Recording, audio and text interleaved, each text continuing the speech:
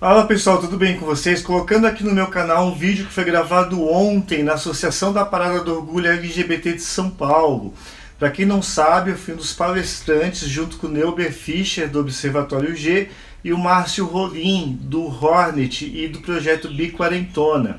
O tema proposto da nossa palestra foi Vozes da Diversidade, a importância das redes sociais de se comunicar a realidade LGBTI+, onde eu, enquanto jornalista, blogueiro e assessor de imprensa da maior parada LGBT do mundo, mais o Neuber, que tem um portal do Observatório G, onde tem notícias do mundo LGBT com mais de 5 milhões de visitas por mês, e o nosso também querido Márcio Rolim, do projeto Biquarentona, e que também é editor da, do Hornet, né? E com a mediação do querido Ali Pranto nós falamos um pouquinho da nossa experiência, do nosso dia a dia enquanto comunicador, enquanto jornalista, enquanto essa, é, essa nossa necessidade de informar sempre que possível a comunidade LGBT dos fatos, notícias e informações. Então eu acho que é um debate, é uma palestra muito legal, onde vocês vão conhecer um pouquinho mais do trabalho de cada um e entender um pouquinho nossos pensamentos sobre essa mídia LGBT, tá bom?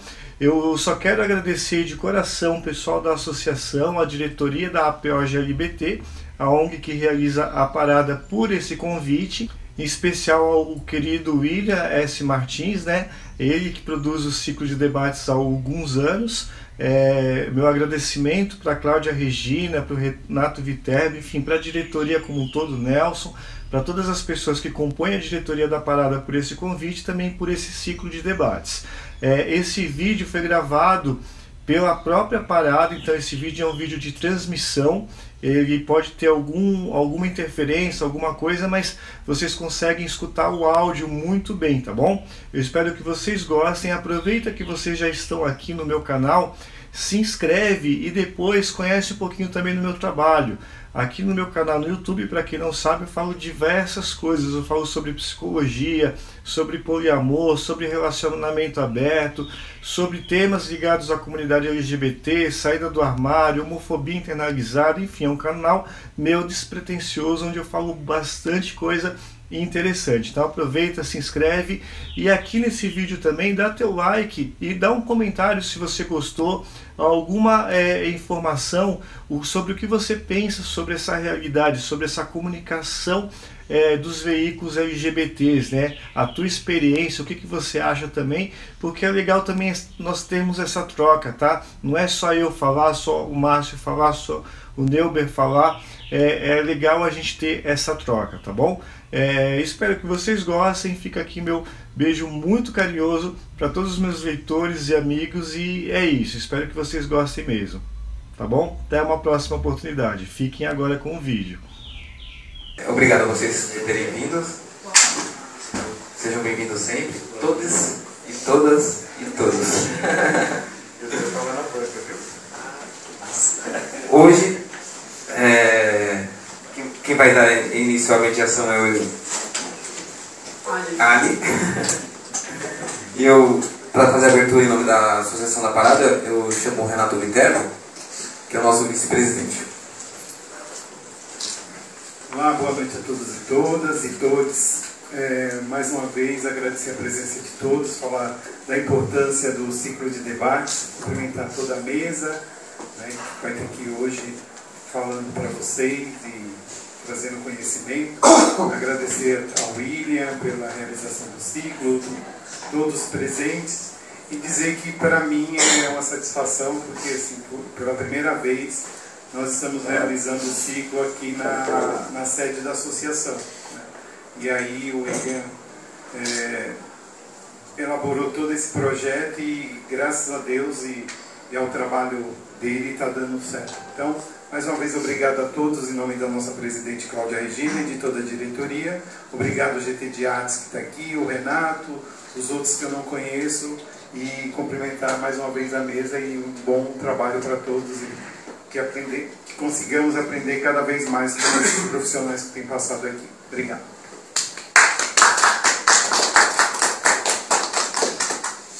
Boa noite. Vocês estão bem, gente? Vocês chegaram bem apesar da chuva, né?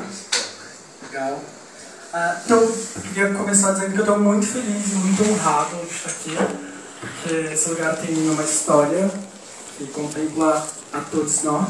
Né? E agradecer ao William, Márcio, Fabrício, Nelber. Um, essa na, nossa mesa trata sobre comunicação uh, do meio LGBT, principalmente nas redes. Embora eu acho que a gente vai extrapolar né, esses campos, a gente vai também tratar um pouco sobre as artes, TV e tudo mais. Bom, eu preciso me apresentar. eu sou bem tímido. Eu sou Ali Brando, eu sou formado em filosofia, sou pesquisador com as temáticas de gênero, sexualidade e feminismo. E eu tenho feito um trabalho com as questões LGBTs há pelo menos cinco anos, e aí é por isso que eu tô aqui. Então, não é estranho. Vocês querem se apresentar? Por favor.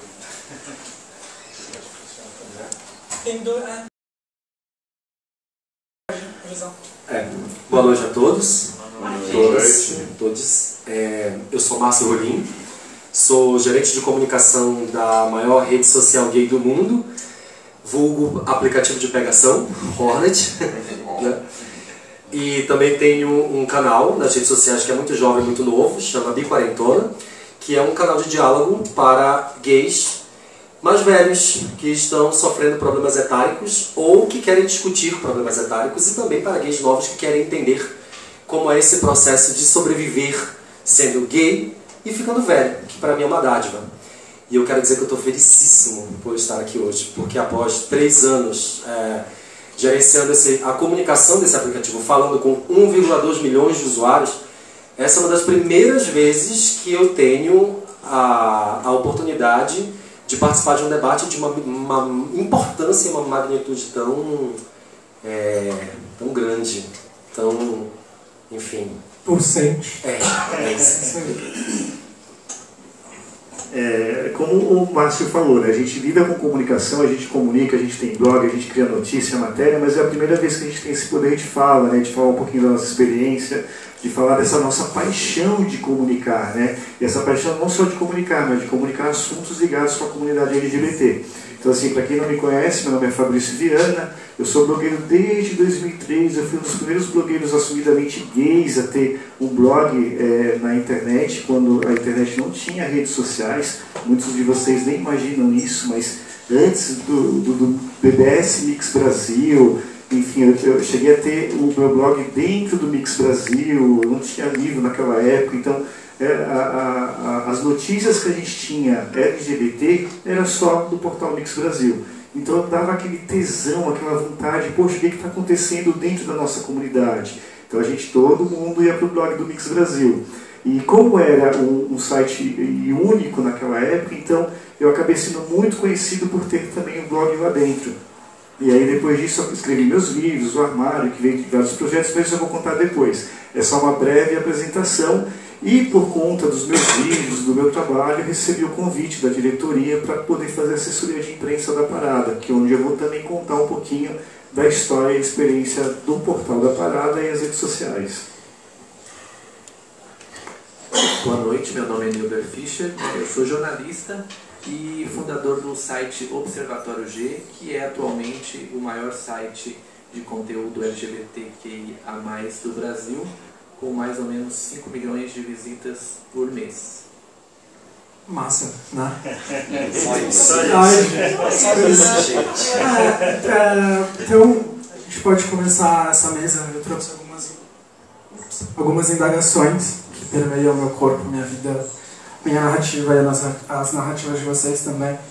E, nesse sentido, eu queria começar com uma questão muito simples, que é o que significa ser LGBTQIA+, no Brasil contemporâneo, né? nesse Brasil da necropolítica transviada. A gente está o tempo inteiro ressignificando a, a sigla e essa ressignificação está contemporaneamente, tá, a impressão que eu tenho, a sensação que eu tenho é de que ela está sempre ligada e tirada de um contexto extremamente político, político partidário, político. É, porque a gente tem sido muito mais atacado ultimamente do que agraciado. A gente tem sido muito mais invisibilizado do que normalizado.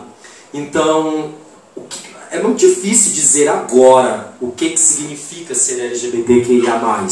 Mas eu, eu acho que uma tentativa que provavelmente é muito frustrada de dizer o que, que significa, significa não saber mais sobre si e sobre seu corpo. Infelizmente, se alguém me perguntar, você é LGBTQIA+, o que é você? Eu vou responder, neste momento eu não sei mais. Eu sou um processo, né? Ou sou um processo. E eu acho que é a beleza nessa resposta também. No dever, enfim. E aí, pegando o gancho que o Márcio falou, eu acho que esse é o nosso papel, né, enquanto jornalistas e comunicadores é, para a comunidade LGBT. A, a gente, né, ainda voltando para o Mix Brasil, que era o portal onde a gente tinha todas as notícias, gente, eu percebo, não sei se vocês concordam com isso, a gente teve uma fragmentação após as redes sociais. Né? Então a gente deixou de ter os portais é, informando e a gente começou a ir muito, migrar para as redes sociais. Então tudo hoje é Facebook, tudo hoje é Instagram, tudo hoje é Twitter, a gente lê coisas muito rápidas, a gente vê título, a gente não tem mais um lugar específico para ver notícias LGBTs, exceto o Observatório G, o Gay 1 e outros parceiros que nós temos da parada. A gente tem uma, uma por exemplo, chega a parada, a gente acaba liberando de 350 a 400 jornalistas né, da grande imprensa, mas a grande imprensa, não é com veículos especificamente LGBTs.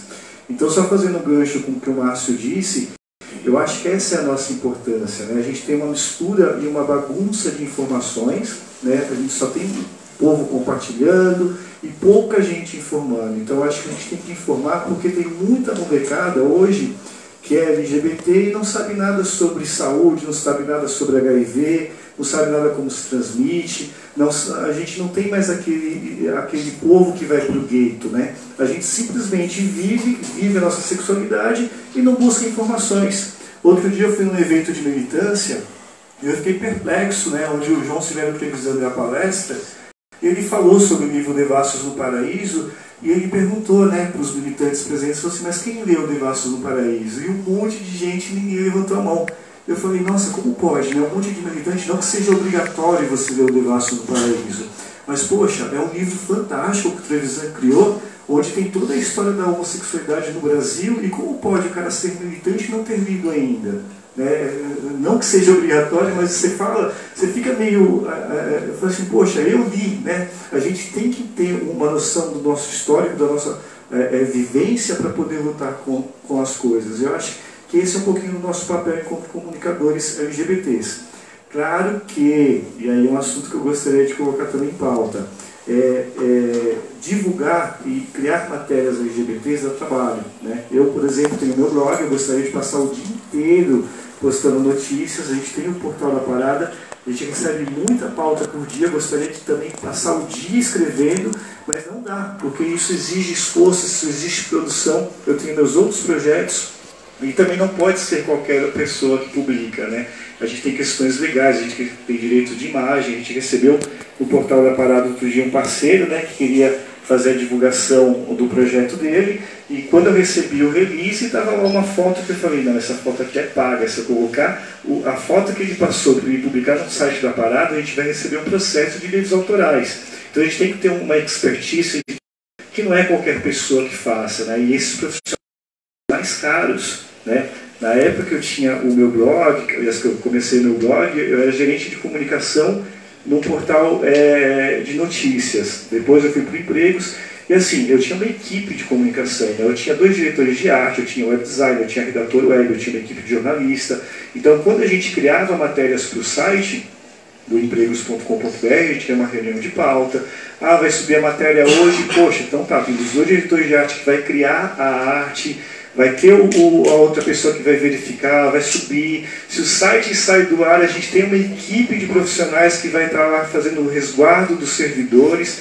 E hoje na parada, por exemplo, a gente vê uma parada LGBT maior do mundo, a gente pensa, poxa, o portal da parada deveria ter mais notícias, mais engajamento, mais comunicação. E o pouco que a gente faz já é muito. Por quê? Porque a gente não tem uma estrutura para tudo isso. Né? Para vocês terem uma ideia, para é, é, finalizar também essa minha vivência, Quando eu fui convidado pela diretoria para fazer assessoria de imprensa da ONG, o Nelson Matias falou assim, olha, vai vir uma empresa que vai fazer o portal da parada, a gente precisa adequar algumas coisas porque eles estão comunicando coisas que é, é, o, não são LGBTs, eles são comunicadores e tem coisas erradas ali. Eu falei, não, tá ótimo. Eu peguei e falei assim, bom, já que eles vão fazer um portal, então vamos criar matérias, vamos criar perfis. E na época, para vocês terem uma ideia, a gente tinha um perfil da parada no Facebook que tinha 15 mil é, é, curtidas e o perfil oficial da parada tinha uns 3 mil. E aí eu, o perfil com 15 mil tinha homem de sunga dançando, homem dançando, que não sei o quê. Eu falei, gente, que absurdo. Lógico, eles estão tendo curtida justamente porque tem um cara de sunguinha, vão para a parada, que não sei o quê. Mas é, é, eles têm que entender que a parada LGBT de São Paulo tem um dono, né? Se eles publicarem qualquer coisa nessa página, quem vai arcar com a situação é a parada. E aí o pessoal da diretoria, a gente tem um contato no Facebook, aí eu entrei em contato, falei com um cara lá que é o Léo, e foi muito engraçado, porque é, o Léo falou assim, não, Fabrício Viana, você não escreveu o armário sobre a sexualidade em 2006? Eu pensou, cara, seu livro me ajudou muito a me aceitar, e isso eu escuto frequentemente até hoje. Né? Eu às vezes não tenho noção do que a minha literatura ajudou todo esse tempo. Mas enfim, eu expliquei para o Léo, ele, é, ele pegou é, é, essas curtidas, migrou para a parada, e a gente veio fazendo um trabalho de comunicação em cima, né, junto com a diretoria. Eu falei, gente, Vamos começar a colocar o logo, a, as redes sociais da parada na comunicação dos trios, vamos é, aumentar, por quê? Porque a gente consegue ter uma comunicação com a comunidade LGBT e com a parada ao longo do ano. Não é a melhor comunicação do mundo, mas é uma comunicação, né? A gente está sempre lá, pelo menos uma matéria por dia, a gente sobe, ou é literatura, ou é sexualidade, ou é militância, enfim, isso é muito legal, isso a gente tem que continuar. É, não é o ideal, é, é, o que eu falei, a gente gostaria de ter muita matéria interessante, muita matéria de conteúdo mais robusto, né? mas não tem é, é, quem faça esse conteúdo ou mesmo quem monitore esse conteúdo, porque não adianta só receber o conteúdo e não monitorar. Né? E aí por aí vai indo. Então essa é uma experiência muito legal. Pegando carona no seu assunto que você falou sobre a produção né, jornalística, é, com as redes sociais e aplicativos e youtubers, né, é, democratizou, né, porque qualquer pessoa pode produzir conteúdo é, e divulgar esse conteúdo, mas não necessariamente, quase que de maneira generalizada, esses conteúdos são produzidos sem nenhuma é, sem nenhum processo jornalístico, né, porque são feitos por pessoas comuns, qualquer pessoa pode ter o seu, sua página no Face, o seu perfil, e criar conteúdo. E muitas vezes esse conteúdo ele não é apurado, não é checado e ele acaba viralizando num formato de fake news ou de qualquer outra coisa que a gente possa chamar. E aí a gente chega à conclusão de que há hoje um excesso de informação, né? que gera a desinformação. Então, assim, a gente tem muita informação divulgada, né? nem tudo é verdade, nem tudo é real, e as pessoas acreditam porque elas dificilmente leem também as pessoas no Facebook, hoje é muito é uma questão cultural. É, antigamente você era o assinante da Folha de São Paulo, ou de algum jornal, ou da revista Veja, ou de qualquer outra revista, e você sabia onde é que você leu aquele assunto. Né? Você comprava aquela revista, você, se alguém te perguntasse onde você leu, ah, eu li na, na Veja, eu li na Isto É, eu li na Folha. Hoje, você chega para a pessoa, ela sabe do assunto, mas você pergunta, mas onde você leu? Ah, eu vi no Face. Ah, eu vi no grupo do WhatsApp. Eu vi na internet. É, eu vi na internet. Ela não sabe a fonte real da informação.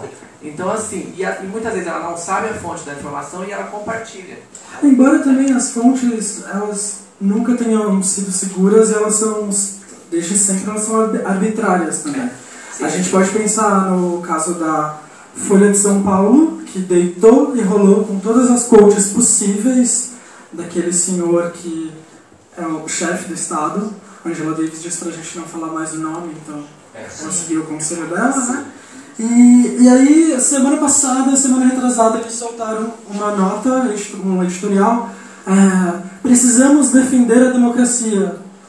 Então, a gente estava lendo a Folha todo esse tempo. É, se a, gente, a gente pode pensar também na montagem de narrativa que a maior emissora desse país criou uh, em termos políticos para que a gente chegue nesse estado em que a gente está. Então eu também não sei se é muito seguro. Eu acho que eu entendo isso que está sendo dito, Mas eu não gosto de olhar para isso com saudosismo, sabe? Como se antes fosse seguro e agora Não, é tá tudo perdido. A narrativa de toda a história política desse país está pautada na insegurança da fonte. É, é, por isso que é muito difícil, voltando para a origem dessa, da pergunta que abriu essa discussão, é muito difícil conceituar contemporaneamente quem é o gay, quem é a lésbica, quem é o quem é, o- né? Que- quem é a mais do... Porque todo tudo que se foi criado, ou pensado, ou estruturado até aqui, é, tem um histórico de farsa, né? de, de insegurança, de inconsistência de informação e tudo mais. Às vezes até uma pessoa que é um pouco engajada, que tem até uma boa vontade em se engajar nas questões, ela não sabe dizer muito bem onde ela está dentro do, da, da sigla. Ela não sabe dizer muito bem por que, que ela está, que ela se acha ou ela se encontra ali. Até quem tem bastante engajamento tem dificuldade. É, E eu acho que um problema também, é, é uma crítica que eu faço, mas assim, não que eu seja contra. Mas eu acho que essa cultura que a gente está atualmente de influencers, né? Que influenciam o que e quem, né? Porque é e como. Porque qualquer pessoa pode ter o seu canal no YouTube, começar a falar coisas ali e gerar realmente uma corrente de pessoas que pensam na mesma linha que ela e tal, e começa a acreditar naquilo que ela fala, e ela está influenciando realmente, mas influenciando de que maneira? né? Então eu acho que é, eu acho que a internet de maneira geral ela veio para ajudar, mas ela também trouxe muitos problemas que a gente não tinha, Sim. né? E aí a gente precisa pensar como é, conviver com isso e tentar amenizar esses problemas que ela trouxe. né? E eu acho que uma das maneiras é você ter, embora eu concorde com você que realmente sempre houve, por questão editorial, é, você definir sobre o que você vai falar no jornal, na revista, na televisão, mas você tinha, querendo ou não, uma ética profissional, um- uns profissionais produzindo conteúdo, de maneira muitas vezes subjetiva, né, porque tinha um interesse por trás, mas tinha um profissionalismo. Hoje você não tem profissionalismo e, não- e também é subjetivo. Então você está duas vezes pior, né? Sim. Ah, e antigamente tinha, como se diz, a, a coisa marrom, né? Hoje em dia a imprensa marrom A- parece que virou um a- todo. a gente pode- Ela não virou uma coisa só. Ela já está englobando muita coisa. Sim.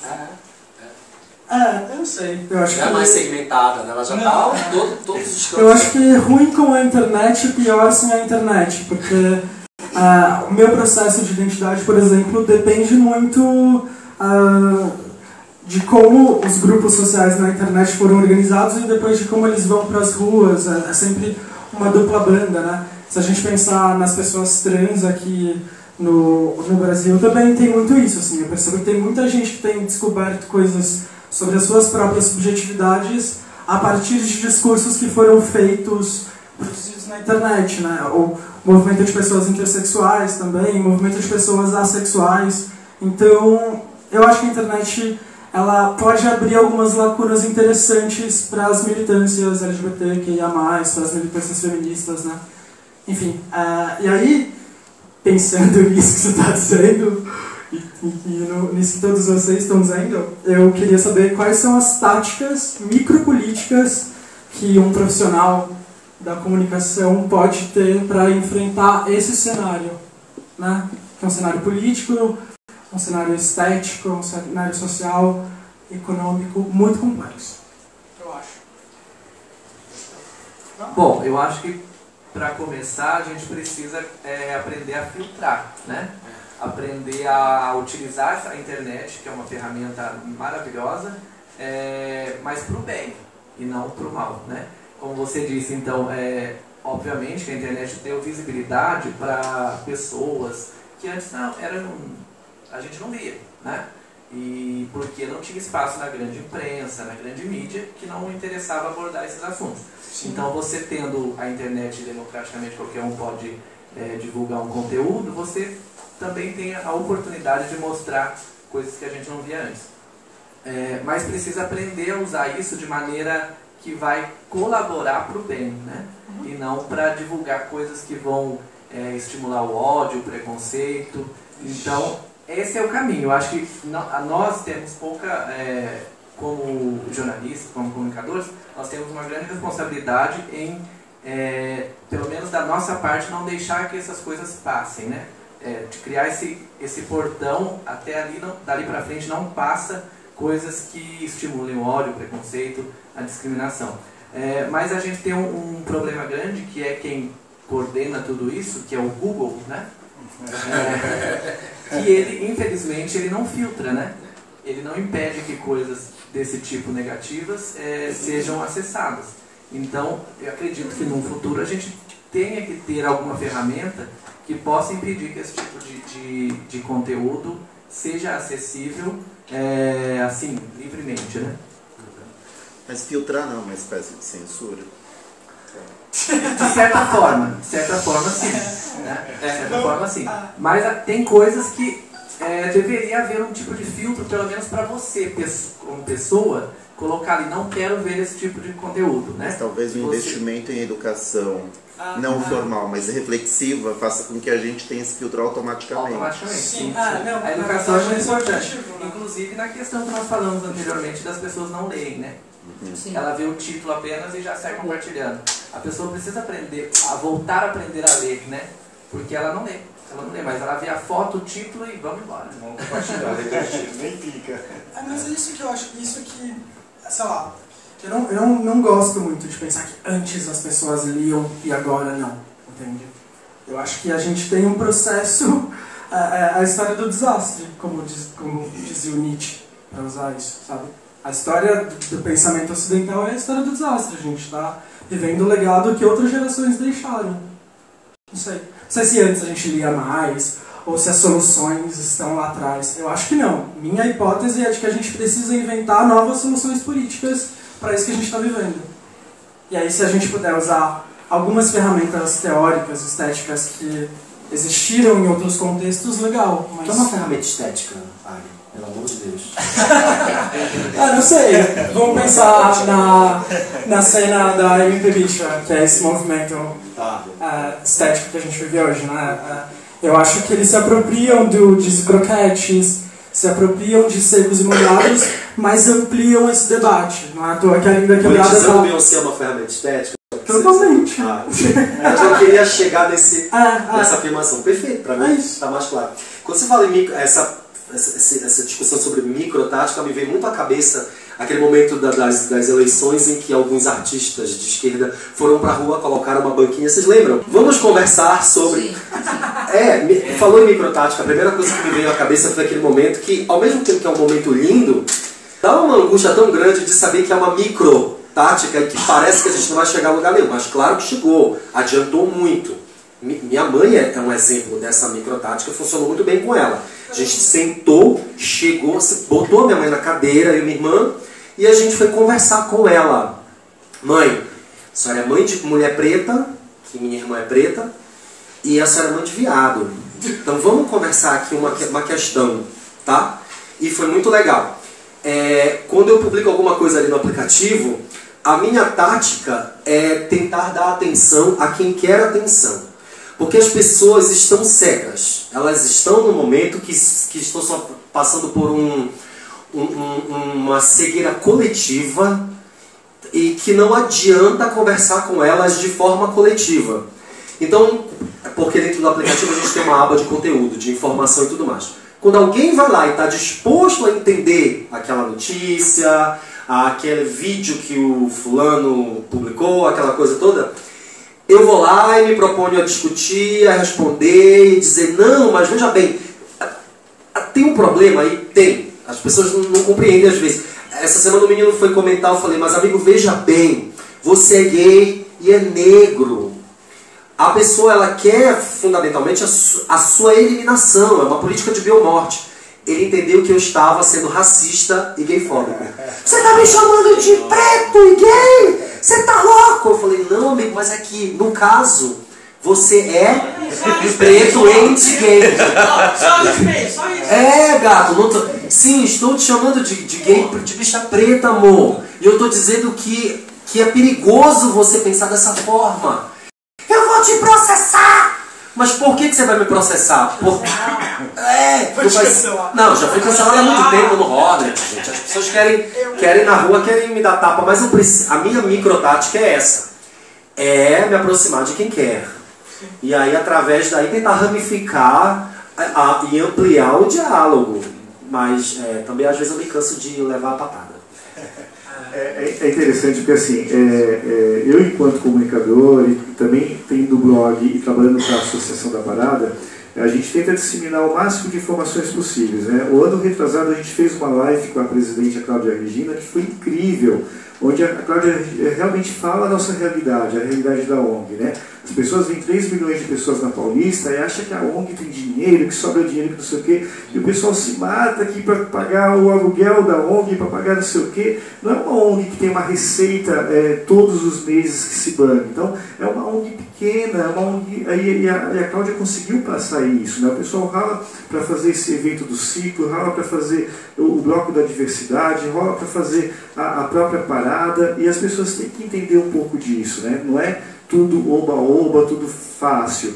É, só para vocês terem uma ideia, porque a gente sabe que a ONG ela faz as reuniões que é aberta aos militantes para definir o tema da próxima parada e as pessoas que vão para a parada, eu particularmente vejo assim, tá? vocês me desculpam, mas eu vejo 3 milhões de LGBTs, a maioria alienado. A maioria não sabe que a parada tem uma ONG, simplesmente acha que o pessoal acorda, alguém faz, alguém bota os fios lá e está tudo feito de um dia para o outro. Tudo é bonitinho, tudo é maravilhoso, mas eles não sabem, eles não sabem o tema, eles não sabem a discussão. E eu tiro por isso, enquanto comunicador, se eu mando um release para a imprensa, né?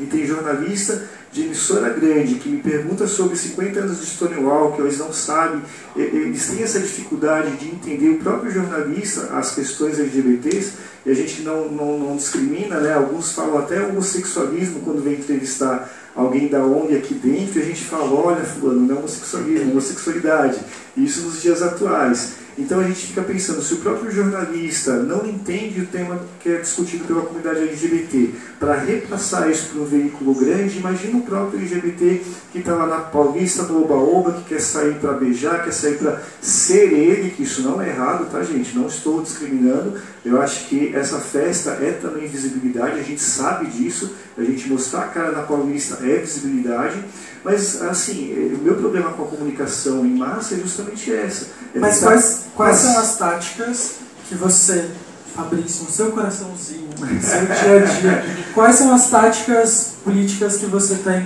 para corrigir esses problemas? Certo. Existe o ideal de comunicação, existe a parte de produção. Eu já fui gerente de projetos e assim, para tudo quanto é projeto você tem que ter mão de obra.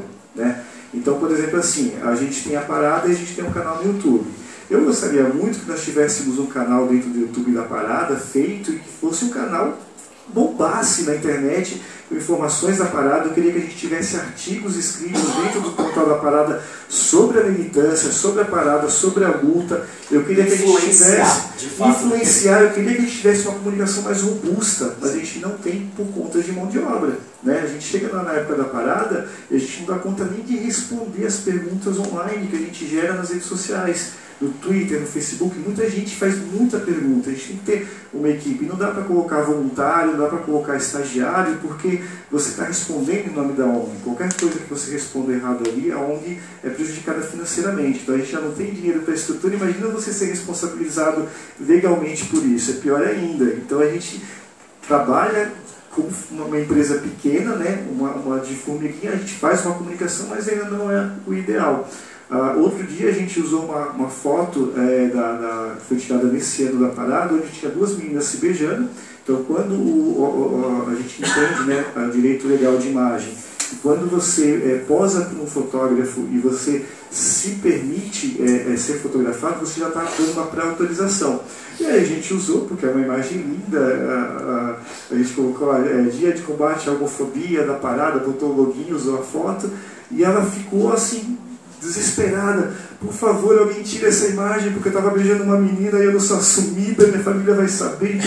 E, gente, a gente não vai brigar com essas questões, né? A gente sabe o, cada um que está ali na parada, a gente imagina que todo mundo é assumido, ainda mais por pousar na frente por uma foto, mas a gente não, calma, a gente vai tirar, a gente imediatamente do site, a gente tirou das redes sociais, a gente fica pensativo sobre isso, né? A gente tem uma responsabilidade muito grande com a comunicação, a gente gostaria que ela fosse mais ideal, mais militante, mais presente, mas a gente tem que ter perna para isso, a gente tem que ter estrutura. E essa estrutura, como eu falei, são profissionais caros. Vocês têm que ter know-how, têm que ter experiência, mas a gente está indo, está batalhando. Uh, eu acho que a gente, antes de eu entrar na parada e fazer esse trabalho a mais, né, de, de, de portal, de redes sociais, uh, uh, não sei se vocês se lembram, mas o site da parada era um site muito parado.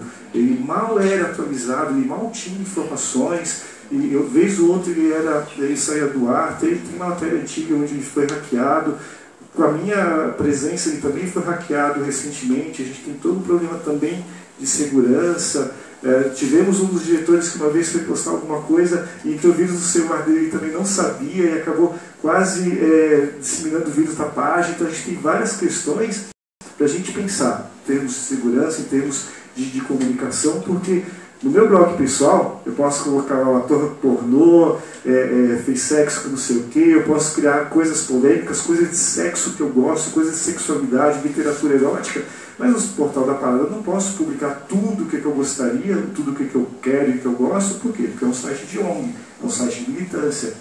A gente até espera que algumas pessoas mandem artigos, mandem coisas, mas as pessoas não, não estão acostumadas ainda a, a enviar. E aí fica meu convite, se vocês quiserem enviar, pode sempre enviar, manda para a SP, manda para o meu e-mail pessoal, lá tem todos os contatos na parte da ONG. É, se for adequado para o site e com os objetivos da ONG, a gente vai publicar com o maior prazer.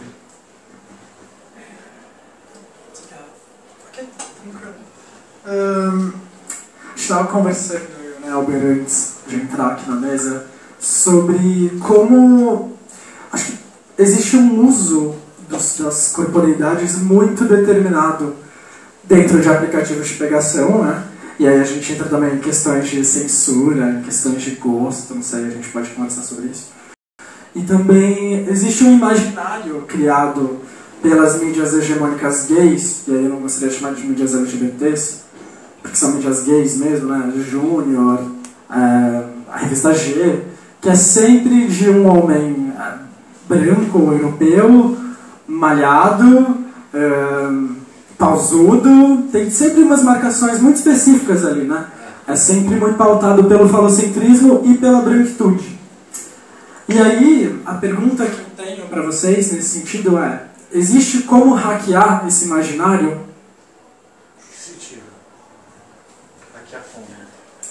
Criar um deslizamento, fazer com que esse imaginário seja de fato plural.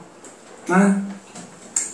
Tentar dialogar com aquela gay que escreve lá no aplicativo, não curto gordos, não, go não sou, não gosto de, não gosto de afeminados. É, então, vou, é, o Márcio vai poder falar melhor sobre isso. Mas é isso, né? É, como, como lidar, como conversar com, com essa pessoa. Beloved, deixa eu te explicar uma coisa. Até você convencer essa gay que não é questão de gosto, ele já te deu um tapa na cara. Porque vai dizer gosto no sim. Mínimo. No mínimo, né, amado? No mínimo. No mínimo. Porque eu tô há três anos tentando, eh, escrevendo matérias originais e tudo mais sobre a construção do gosto, sobre a construção da, do, do estereótipo. É, e explicando para essas pessoas que a questão de gosto deles foi construído que não é um gosto, que quando ele não quer ficar com um afeminado, que ele acha que afeminado é sempre a passiva, né? E que eu tô falando para ele, gente, tem um monte de afeminado que é ativo. Que ele não quer ficar com preto, que ele não quer ficar com gordo, que ele não quer ficar com japa. E que isso não é uma questão de gosto. E que isso foi impregnado dele através do tempo. E que isso é um processo de familiar, na verdade. Porque a gente até tem um vídeo recente que eu publiquei lá no meu canal, não, tô aqui para promovê-lo, enfim, que o menino fala assim, ah, a, a gente chegou lá com a mãe e falou assim, Mãe, sou gay. Ela falou, tá tudo bem, só, só me traz aqui um boy bonito, porque a mamãe sempre pegou boy gato. Quer dizer, amada, não é, não é aí. Quer dizer que se eu chegar com um cara mais gordinho, chegar com um japa, com um cara bem mais velho que eu, tá, tá mal ser gay. Ah, dançou. Dançou. Mas se eu chegar com um boy de delicinha, se eu chegar com um boy assim, bem põe na roda, é, tá ok. Falo mesmo, falo. Soubesse. Aí vai tá foda, gente. E aí sabe o que vai acontecer? É muito difícil hackear esse pensamento, porque esse pensamento está impregnado quando a gente nasce. A gente falou disso em Ética Bicha. Sobre nascer bicha, antes de tudo ser bicha, o corpo já nascer dissidente, E aí depois a gente começar a percorrer, se descobrir, né? se descobrir coisa. tudo mais. Aí Mas eu enfim, sou uma bicha arquiteta, uma bicha não, eu falo, não façam isso nos perfis de vocês. Vocês não precisam expressar o preconceito. Não estou expressando preconceito, eu estou evitando mal-estar com o cara que vem falar comigo. Não, meu amigo, você está deixando de dialogar com uma pessoa que não, não faz. Você Mas- não precisa colocar isso no perfil. Mas, Márcio, é Márcio, né? É. É, se- Pega- deixa eu só- a pergunta. Não, não, não, a pergunta foi bem interessante. Eu só achei que assim, eu fiquei pensando que também isso é uma coisa muito específica do mundo gay, né? Porque o- É. os héteros eles Exatamente. têm, eles têm uma, uma abertura, uma pluralidade muito. Às vezes você até olha e fala assim, o que, que esse- essa menina tá fazendo com esse cara? O que esse cara tá fazendo com essa menina? Porque de repente são padrões muito diferentes. Eles talvez não estejam tão e, e- e pensando nessa construção, que eu acho que é cultural, de ver do, do europeu, de todas essas coisas, etc. E até numa coisa que ele tinha falado também, a gente não sabe qual é a nossa identidade. Então eu não sei se eu sou negro, se eu sou branco, se eu sou pardo, se eu sou. Quando você pergunta as pessoas, elas ficam nessa saia justa, né? É, e aí começa um embrólio e mistura tudo no final das contas. Vocês já viram Bacurau, pelo menos? Todo mundo Sim, viu Bacurau, né? A Então tá todo mundo ok que pelo menos a gente é latino-americano e essa é uma identidade que a gente pode se apegar de alguma forma pra desconstruir todo esse ranço europeu, né? Essa lama que não tem nada a ver com a gente. Como é, como é o teu nome? Alexandre. Alexandre, mas ainda acho que a- antecedendo a nossa ideia de identitária, antecedendo a nossa ideia de identitária, a gente tem a ideia do, do gosto, do querer. Porque a gente, primeiro a gente quer, quando a gente é adolescente, a gente tem, tá adolescendo, o corpo tá mudando, a voz, os desejos, a punheta, o pensamento, tudo tá mudando. É, essa é a palavra, né? Desejo. O aliás. desejo. E aí você já começa a construir aquilo que você quer próximo de você. Só depois que começam a vir questões identitárias. Especialmente quando você sofre preconceito. Você é gordo, você é preto, e você pensa, puta que pariu, sou gordo e preto. Mas eu já desejava, antes de saber que eu era gordo e preto, o eurocêntrico. Eu acho que é bem antes. Então, enfim. Neuber. Aquela né, que já tá mediando. É doida, gente. E aí, e aí eu acho que faz parte um pouco do nosso trabalho é dar uma visibilidade maior para aqueles que não estão dentro dessa característica tão desejada, né? Porque a gente vê também que na mídia, seja é, LGBT ou não, é, geralmente quem tem Mídia cis. é, quem tem quem tem mais visibilidade, que a gente vê, são pessoas com essas características, né? Você não vê nas publicidades, de maneira geral, é, pessoas gordinhas, ah, negras, índio, enfim. É, você vê o branco, malhado, bonitão, de olho claro, é, que representa é, uma minoria, porque o brasileiro não é assim, né? Então você não se identifica com, aquela, com aquele comercial, com aquela publicidade, mas é- as empresas insistem em fazer é, com base numa coisa muito já ultrapassada. Então a gente precisa também, é, é, nas notícias, nos ensaios fotográficos que, que a gente publica, é, dar espaço para essas pessoas que não têm essas, essas características é, que a gente sabe que são as mais desejadas, digamos assim. Reconstruir o gosto, então. De uma certa Sim. forma, porque a gente é assim que a gente constrói um- a cultura, né? É quanto mais você vai vendo aquilo, vai vendo aquilo, aquilo vai se assimilando e você vai achando que aquilo é o, é o Talvez, natural, né? talvez esse hackeamento crie novos desejos e novos usos do próprio Sim. corpo e novas desidentidades, né? Por isso que a gente usa o, o mais, o LGBTQIA+, sempre pensando é, em identidades que estão por vir, que a gente não conhece e que recusam esse lugar de cristalização, né? Ah, se a gente pensa com alguns teóricos, a Butler, Preciado, não sei quem mais, dá pra citar mais gente aí nesse caldeirão, mas eles estão sempre pensando que o movimento LGBT perdeu a mão quando começou a demandar os mesmos direitos das pessoas heterossexuais. É muito pouco isso pra gente. A gente precisa inventar mais. Gente precisa de outras possibilidades, eu acho. E e aí, só voltando para a questão da comunicação, né, que é, é- é o nosso tema e, e foco, é, assim, é o que o Neuber falou. A gente tenta mais, é, é sempre dar essa pluralidade. Eu mesmo, quando vou selecionar uma imagem para uma matéria, para subir alguma coisa, a gente faz uma pesquisa, colocar uma imagem é, gratuita, que não inflige direitos autorais para o portal da parada, para não ter todo esse trâmite. E, e, eu lembro que lá atrás, quando comecei o blog, eu criei o portal Armário X para ajudar as pessoas a saírem do armário, junto com 12 pessoas. E depois eu criei a TV Tudo, campanha LGBT, ganhei prêmio da parada naquela época, que era outra diretoria. Então, eu e a parada, a gente sempre teve uma ligação muito íntima nas questões, assim, isso é muito gostoso, porque a gente tem uma sintonia, né? Quando eu escrevia para a G Magazine, teve dar uma lida nessa matéria, porque as pessoas criticam, criticam a parada, mas vir de fato na parada, nas reuniões da parada, elas não vêm. É muito fácil você criticar, não vou mais na parada, porque a parada virou isso. Poxa, mas vem cá, o que, que você faz para a parada? Né? Você já foi em alguma reunião gratuita? Você já foi lá entender a parada antes de pedir para você subir no trio? Né? Você foi participar do movimento? Né? O que, que você fez antes de criticar? Então a gente tem que ter essas questões. E vamos provocar um pouquinho. Vamos lá. na parada, mas na parada, eu acho que inclusive é, a gente vê muito caras gogo boys em cima do trio, que representam exatamente essa figura estereotipada, malhada, branca. G.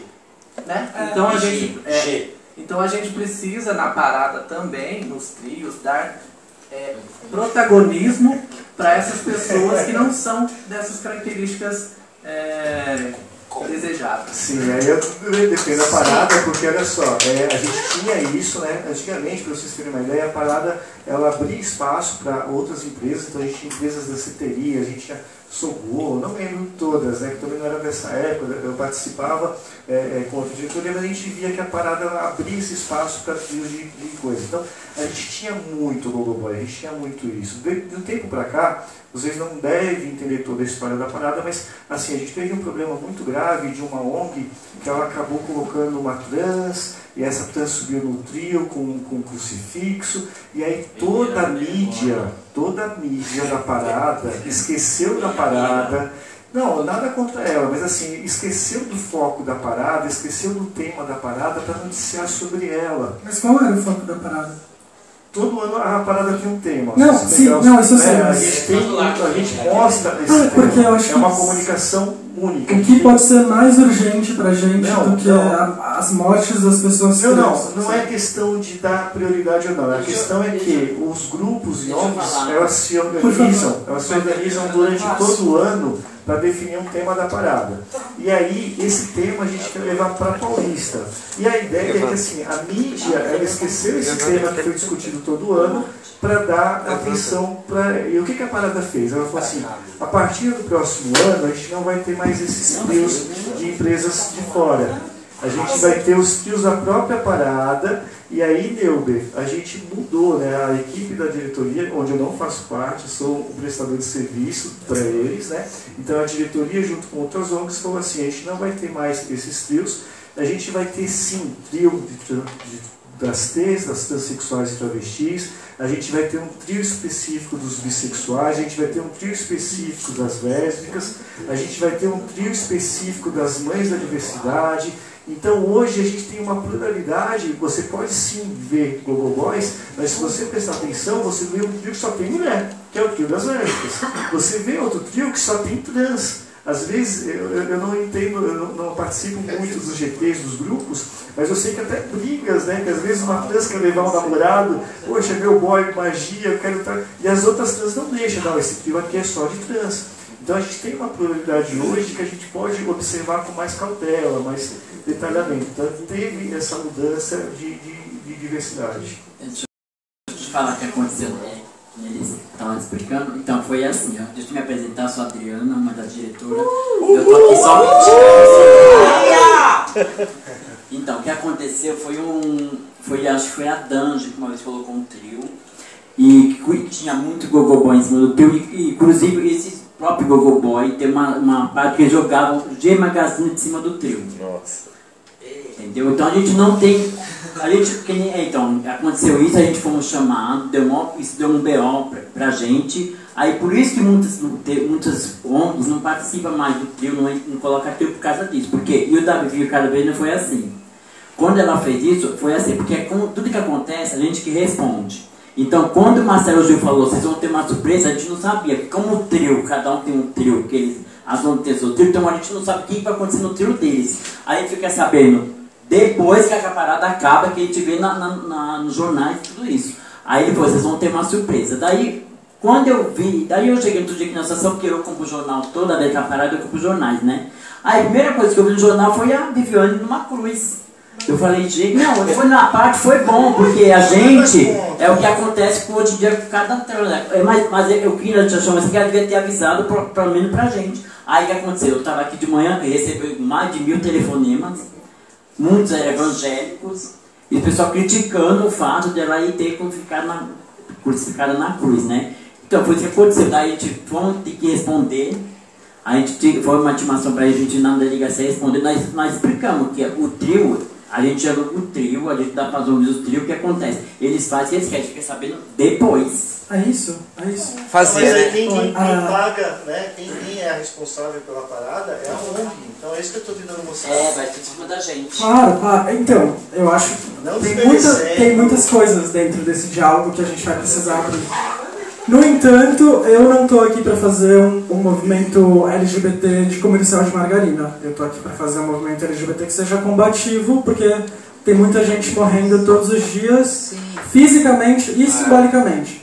Então, se Jesus existiu, se ele existisse, talvez se ele fosse uma mulher trans, então parabéns para a ferramenta estética, para o ato performático que... Mas é quase como se tivesse sido o nosso Stonewall, essa, a Viviane. dela. Exatamente, exatamente. Ah, que bom, na verdade. Perfeita. E aí, para fechar o, o meu ciclo de perguntas e depois a gente abre para dialogar melhor com vocês, essa coisa também é de todo mundo afastado, é esquisito, gosto sempre, mas enfim. Ah, a última pergunta. Ah, a gente tem visto uma crescente, eu olho para isso com muita desconfiança, desde já digo isso, ah, de pessoas LGBTs nas mídias, né? nas novelas, mas não pode beijar. Então, você é invisibilizado de novo, né? você é posto de maneira sexual. No cinema também, em alguns comerciais. O que vocês pensam sobre isso? Sobre essa cooptação da imagem das pessoas LGBTs ah, pelos mercados, porque isso também está em jogo. E mais do que isso, ah, visibilidade garante vivibilidade? Essa é a pergunta. Bom, eu acho que já foi pior, né? É, é, hoje a gente tem uma presença quase que em todas as novelas, você tem pelo menos um personagem é, gay, lésbica, trans, enfim, é, e que é visto em, em algumas novelas com mais naturalidade, né? Não é colocado como, é, não é rotulado como um personagem gay. Ele é um personagem da novela, como os outros, né? Como tantos outros. E, e a gente já vê beijo, já vê troca de carinho, vê andando de mão dada. É, no cinema até mais, né? Porque o cinema Mas É. né? não é, uma, não é TV aberta, né? Então só vai assistir quem compra o ingresso e quer ver. É, a TV aberta que tinha um pouco de receio de mostrar, porque em casa a família reunida, né? É, ia, Pode ia- derreter não poderia ver, né? É, hoje já está um pouco melhor, eu acho. Então você vê que teve a novela Força do Querer, que teve a personagem trans, né? É, na novela atual Bom Sucesso você tem casal gay e, e mostrado de uma maneira mais natural. Então eu acho que tem melhorado. Ainda está longe de ser o ideal, né? Mas tem melhorado e é um bom sinal. É, eu não vejo com desconfiança. Eu, eu vejo, eu vejo de uma forma extremamente positiva. Como o Deber falou, já foi muito pior. E eu vejo ainda que. ne- eu acho que nenhum LGBT, gente, quer passar o resto da vida lutando. Quer passar o resto da vida dando a cara pra levar tapa, fugindo da polícia. Acho que vai chegar um momento que a gente quer ser muito normal. Tá beijando em restaurante mesmo, tá gastando horrores de dinheiro com coisas maravilhosas e caras. Eu quero, gente, eu não quero passar a minha vida em luta. Eu quero sim que queiram o meu dinheiro, meu pick money, meu laranja, que é a minha cor preferida. É, eu, é, eu quero que, que, que se normalize. E quando a gente tem a Ainda temos uma bicha branca padrão no jornal, na bancada do jornal OK. Ainda são duas bichas bonitinhas brancas se beijando na novela. A trans que tá lá é uma trans linda, que fez lipo, que tem peito, que tem, não tem uma voz, tem voz feminina e tal, enfim, ok, ainda é. Mas eu acho que é um passo sensacional para normalização da, da caricatura LGBT. E eu já começo a me identificar. Eu já começo a ver as minhas majus, assim, sabe? Quando se eu fosse uma criança preta com cabelo, eu já começo a ver as minhas. Nossa, ele parece comigo. E é legal porque a gente está saindo de ambientes cada vez me, mais, mais, menos indo para ambientes menos tóxicos, como a TV aberta, como os canais de streaming. Não é legal, gente? Eu acho, eu vejo muito positivo, porque antes a gente só estava normalizado na Júnior, né? Do, do André Fischer amado do meu coração, mas que nunca botou um preto na capa. Não, não tinha, tá? Não teve, gente. A gente só estava normalizado na G. A gente só estava normalizado no X-Video. A gente só estava. E a, e a gente ainda está muito normalizado no Grindr, no Hornet, nas matérias que eu publico. Até tentei, gente, fazer uma coluna lá chamada O Cara do Mês, que a gente colocou um menino trans, que foi pra pós, a gente colocou um cara mais velho, colocou um, um, cara gordo, a gente colocou todo mundo lá, representar todo mundo. Não deu muito certo, não. Eu acho muito positivo, sim, que na TV aberta já tenha. Eu não vejo com desconfiança eu vejo, eu vejo, muito, eu vejo caminhos muito bonitos daqui para frente. Pra... É, eu, eu, concordo. Eu acho que todo o trabalho nosso de comunicação, seja ONG, seja blog, seja o teu canal Biquarentona, seja o Observatório G, seja o com o projeto dele e outros é, profissionais de comunicação, acho que tudo tem um significado, uma educação e um empoderamento. Né? Eu estou com sete livros hoje, recebi prêmio, estava falando ali com a Adriana, né? teve um bar gay aqui de pegação chamado Dédalus, e eles fizeram questão de colocar uma frase de um livro meu, assim, você entra no bar de pegação, está uma frase lá, o meu primeiro livro no armário, Fabrício Viana, ele colocou outro autor lá, e você fala, meu, gratidão, né? A segunda homenagem que eu recebi esse ano, outra homenagem foi no Prêmio Papo Mix, que não tinha premiação mais de literatura, mas eles me chamaram no palco, a gente quer homenagear o Fabrício. A gente tem essa, essa repercussão, e a mesma repercussão, gente, a gente tem da parada. Não é à toa que é a maior parada LGBT do mundo. O Valcir Carrasco, quando ele ganhou o prêmio da parada, não lembro qual edição, mas faz uns 5, 6 anos, ele subiu no palco, ele falou assim, gente, eu ganhei esse prêmio da parada mas se não fosse por conta da parada, das pessoas mostrarem a cara, eu jamais conseguiria colocar um personagem gay na novela da Globo. Ele falou isso. Eu só consegui colocar, eu consigo colocar e outros conseguem colocar porque a gente teve essa visibilidade.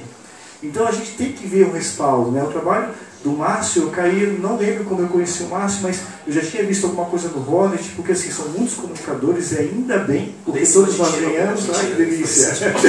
e aí assim, a gente tem muitos comunicadores, e aí de repente eu vi um vídeo dele, do Big Quarentona, onde ele ah, é, vê um, um, uma carta né, de alguém que estava ah, já tenho 53 anos, e ele fala, gente, nada, você tá com 53 anos, você vai ter muito para viver, e ele fala uma coisa assim que Gente, as pessoas precisam ouvir isso. Então você fala, que legal que tem o Márcio, que tem é, é, o Neuber, que tem gente comunicando, tem o Fabrício Viana com o blog dele, tem a parada comunicando, então a gente, todos nós estamos ganhando com isso, né? todos nós estamos crescendo com isso. A gente acaba ajudando, a gente acaba se ajudando. Então, por mais que a gente veja a, a, a crise econômica, a gente veja. Uh, uh, o governo aí contra LGBTs, a gente está se ajudando. Né? Se ninguém segura a mão de ninguém, existe de alguma forma. A gente tem que respeitar isso. Só, só tentando complementar essa história da visibilidade garante vivibilidade, no fundo, acho que ninguém vai responder isso, Alisson, porque é, é, é muito, é muito antagônico um Reinaldo Janequini sair do armário e a gente achar que isso nos traz alguma visibilidade, traz visibilidade para a, a, a casca, o indivíduo, assim, o formato, aquela linha assim, gay. Mas não traz visibilidade para a causa, para o problema. Porque não tem problema nenhum em ser viado, mas ser milionário, branco e a toda globo. Não tem problema, né? Tem problema em ser gay, ser pobre, morar na periferia e ser bicha de peito. Aí tem problema, muito. Então, assim, não, eu acho que a gente não vai conseguir responder essa pergunta hoje e nem no, no ano que vem nessa mesa. Porque é, garantir vivibilidade não é um pressuposto, não, não parte do pressuposto de que nós precisamos nos expor, mas do pressuposto de que nós precisamos existir. De que nós precisamos fazer com que as pessoas entendam que nós estamos aqui. O que talvez garanta vivibilidade à nossa vida seja acessar a faculdade, é, ter emprego, empregos bons, virar diretor da empresa, você entende? É, ter acesso a pós, ao mestrado e ao doutorado, é a porta do banco não travar para quando o preto passar. E acho que isso que vai garantir vivibilidade a, a, a partir daqui a longo prazo. Garantir que a gente viva. Ou simplesmente pegar o metrô 4 e 15 da manhã, essa hora que ele abre, algo assim. É, o fato é que a gente não consegue associar, ligar, sair de um para o outro. Estou exposto, visibilidade, isso garante que eu viva. Não, dá para garantir de fato, nem agora nem amanhã. E nem no ano que vem na parada, aqui, nem daqui a cinco anos talvez. É, é um processo muito lento e dolorido. As pessoas vão ter que morrer para isso, infelizmente. Muita gente vai, agora nesse momento elas estão tentando garantir vivibilidade a troco de tão pouco. Sim, sim. Fora a depressão. Ah, não, a morte ela é simbólica também, né? Enfim, uh, vamos abrir para as perguntas, vamos dialogar. Alguém tem algo a provocar? Ah, e a intenção disso aqui também eu acho que não é responder nada, eu acho que é só criar, ah, não, criar mais dúvidas, né? Quem sou eu? Ah, pra lá, né? Tem aí? Oi.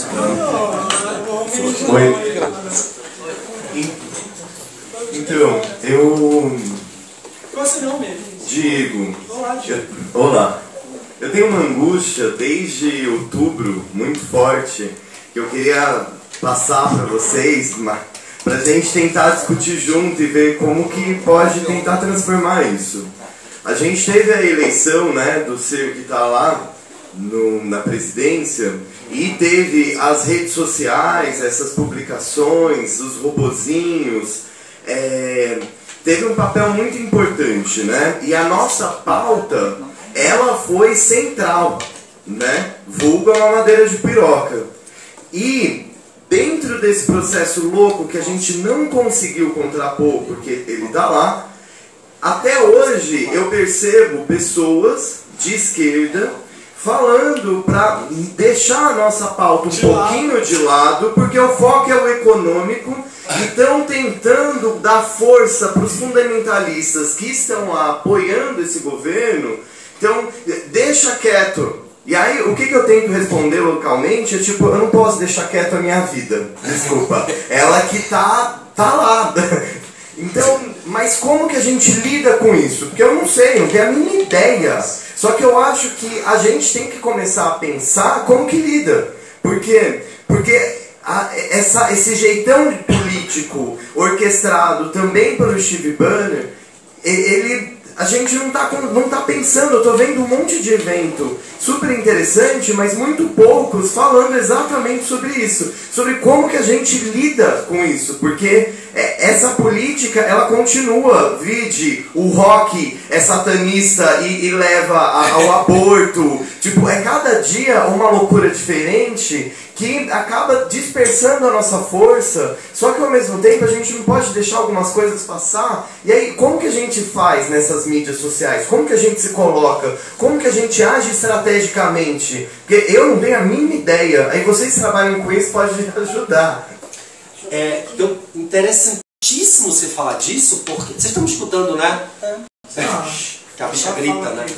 Ah, é, a o, o Ali me apresentou recentemente não, já tem um tempo, mas assim, me apresentou o termo é, política de biomorte e aí eu, necropolítica. E interessantíssimo você perguntar isso, porque as pessoas dizem assim, ah, mas se a gente é, é, fortalecer a parte econômica, todo mundo desfruta. Porque o direito de um é o direito de todo mundo. Se eu tenho o direito a comprar uma carne mais barata, você que é gay também vai comprar uma carne mais barata. A gente tem que explicar para as pessoas que isso não é verdade, que a biopolítica consiste exatamente em promover políticas públicas para um grupo muito pequeno de pessoas e deixar todos nós à margem de políticas é, marginais mesmo e que não vão nos servir para muita coisa. Eu acho que o que a gente tem, tentando responder essa pergunta, a gente tem que explicar, Amado, uma relação internacional vai nos afastar cada vez mais da, da, dos, dos, benefícios desse programa. É um, um, um trabalho feito para tudo que é feito e que não é pensado em política de inclusão é para nos afastar. A gente não tem que pensar agora no social, nós somos parte do social. Porque aí tem que explicar para as pessoas o que é biomorte, o que é biopolítica, o que é. Quando você cancela um remédio, assim, bastatina, cara, que foi cancelado ali do SUS e, e, e um monte de gente que toma simvastatina vai morrer. Entendeu? Então, assim, na, é, é, eu acho que o que a gente tem que fazer é persistir que a nossa pauta é importante. Sabe aquele gays ok? A nossa vida importa? É, é persistir, dizer. Não, não é. Essa, no momento não é essa coisa de, de, de, de relações internacionais. Tudo isso inclui a gente, tanto quanto você. É persistir e continuar falando, tentando explicar. Pelo menos é o que eu tento fazer todos os dias. Sim, eu só, só me recordo, Diego, é uma coisa que você postou recentemente no teu Face, e eu gostei muito, né? É, é, a gente não precisa ser negro para acompanhar o movimento negro, a gente tem outras é, coisas que a gente pode é, é, acompanhar, lutar, incentivar, é, porque nós somos seres sociais, a gente tem que fazer o bem para o próximo, enfim. Eu lembro só de um, de um, de um livro que o Trevisan me deu, chama Seis Bolas no Buraco Só, A Crise do Masculino. E, e, e quando o Trevisan me deu, eu disse, nossa, que livro estranho, não sei o quê. Quando eu li aquele livro, eu fiquei admirado. É um livro que eu recomendo muito, até mais do que o Devassos do Paraíso. O Trevisan falou assim que seria um capítulo do Devassos, mas como foi um ensaio sobre a crise do masculino, ele acabou fazendo um livro à parte não sei se tem para vender, não sei o quê, mas esse livro é tão interessante que no início ele faz um estudo e uma analogia que eu achei que eu percebo isso até hoje. Todos os eventos para gays, para a comunidade LGBT, eles são muito pouco procurados. Quem vai mais nesses eventos não são nem os gays, são as mulheres. Então a gente tem é, é, um problema mesmo de interesse. Né? O próprio homem, gay ou não, ele não tem interesse nas questões masculinas ele vai muito pouco. Então, é, é esse contraposto é, é, que ele faz. Isso deixa a gente um pouquinho, poxa, a gente tem tanto evento bacana, a gente tem tanto é, é, é, é seminário, a gente tem tanta coisa que a gente pode agregar, a gente pode se tornar mais militante, a gente pode ter uma consciência maior, mas as pessoas não vão, elas não têm interesse. E aí que eu acho que o Márcio falou bem, a gente tem que promover, a gente tem que continuar falando, a gente tem que falar para quem quer ouvir, porque esse quem quer ouvir vai também continuar com essa comunicação e vai espalhar. E é isso que eu acho que é um pouco do nosso papel. Nós que já estamos aqui na sala hoje, a gente tem um diferencial, a gente está buscando informação, a gente está buscando, né? Eu tenho meu, meu, minha vida, que eu, eu, eu resumi um pouquinho para vocês, o Márcio tem, o Neuber tem, o Ari tem, e eu acho que cada um de vocês também tem um pouquinho para falar, para divulgar e para e eu acho que é isso que é legal, a gente se conhecer e se compartilhar conhecimento, mas realmente não é um, um interesse da maioria. Assim, é, novamente, tem 3 milhões de pessoas na Paulista, mas é praticamente 3 milhões de pessoas alienadas politicamente. Né? Elas querem, elas não, não têm, não é, não é o foco delas. Mas, o Fabrício, você falou uma coisa que acontece no. Só um segundinho, gente, para manter também a ordem não, do não, microfone. Só, só nas redes, só para pegar o percebido, nas redes sociais, as pessoas, elas curtem as coisas, elas não compartilham as coisas. O problema maior do gay também é que se ele achou um, um artigo interessantezinho ali, ele bota aquela carinha de sorrisinho, de não sei o que, sim, coraçãozinho. Mas compartilhar a notícia, ele não compartilha. Ou seja, ele deixa que os famosos robozinhos façam outra parte. Nós que é. somos lá, que somos a parte interessada, a gente não faz. A gente deixa que os outros façam. Então não há um compartilhamento das coisas dentro da rede social. Não há uma, uma intenção de fazer não, com que alcance mais. É ele é curte só.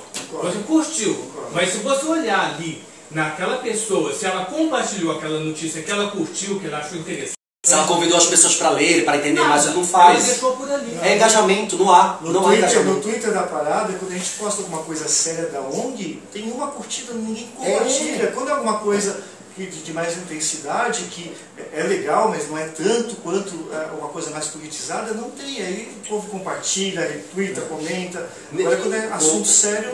Quando você tem só 5 milhões de acessos no seu site, qual é o, qual é o, o, o, o que é mais compartilhado? O que, que é, você, faz um track, assim? Geralmente que tipo de assuntos? Né? Tipo, um encontro como esse ou a piroca do namorado do Dudu que apareceu na praia do. Fala aí pra gente. Geralmente o que atrai o público não é o de interesse público. É. Né? É o de interesse do público. Ou seja, é nudes, é, vazou alguém transando, alguém está na praia com volume, é, ou é alguém que foi agredido a paulada, coisas assim. Isso rende clique, rende curtida, rende compartilhamento. Agora, quando você posta uma matéria de conscientização, de direito, de saúde, ou qualquer coisa desse tipo, que é muito mais importante do ponto de vista de disseminar algo que realmente interessa, não tem compartilhamento, não tem curtida, como ele disse. A pessoa às vezes até curte lá porque ela achou, ah, é legal, mas ela não compartilhou porque, ah, isso daqui não, ninguém vai ver mesmo e tal. E deixa por isso mesmo. Né? É assim. Infelizmente. Nossa senhora, quanta coisa, né? é, é, complicado. Então, só para assinalar um tanto melhor é, a, a, a, bibliografia, né? Sou uma, uma da, das bibliografias todas. Você conhece o ensaio Necropolítica do Achille Bembe? Então, eu acho que ele fornece alguns insights do que aconteceu, porque é um ensaio publicado há uns 15 anos atrás, a versão original, né? E, e ele também fornece alguns insights do que vai acontecer. E também o próprio conceito de necropolítica ele extravasa, né? Por isso que eu estou pensando muito sobre uma necropolítica transviada, que é justamente esse cenário que a gente está vivendo. É, quando a gente pensa sobre, sei lá, o governo cerceando informações ao tratamento de HIV/AIDS. Existe uma intenção política ali. Ainda não pararam de distribuir é, os medicamentos, mas as informações elas já estão cerceadas. Tem lá uma ministra que está defendendo políticas norte-americanas de que a gente não deve falar sobre sexo com adolescentes e isso vai evitar que adolescentes façam sexo.